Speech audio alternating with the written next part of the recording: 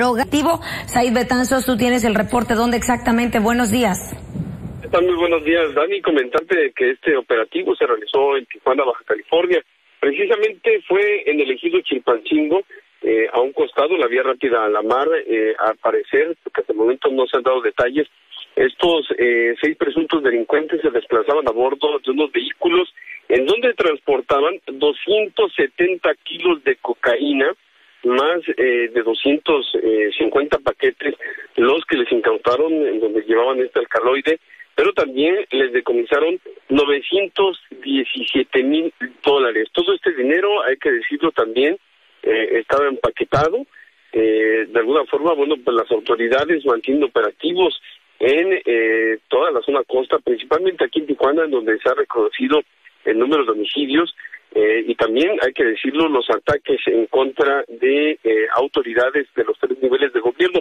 Y fue precisamente eh, estas autoridades, el grupo de coordinación, como se le conoce, a este grupo que integra la Sedena, la Secretaría Marina, la Fiscalía General del Estado y Policías Municipales, quienes lograron la detención de estos seis presuntos delincuentes, identificados hasta el momento como Marco Antonio, Félix, Juan, Radamés, Jesús Adrián y Sabino, que tienen entre 45 y 20 años de edad.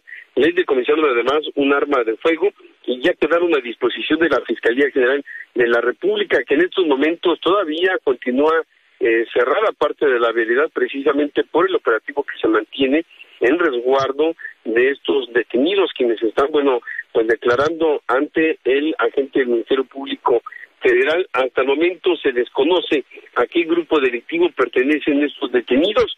Nosotros vamos a estar atentos de lo que continúe con este, pues bueno, importante resultado. Hay que decirlo, hace mucho tiempo que las autoridades no daban un golpe tan contundente.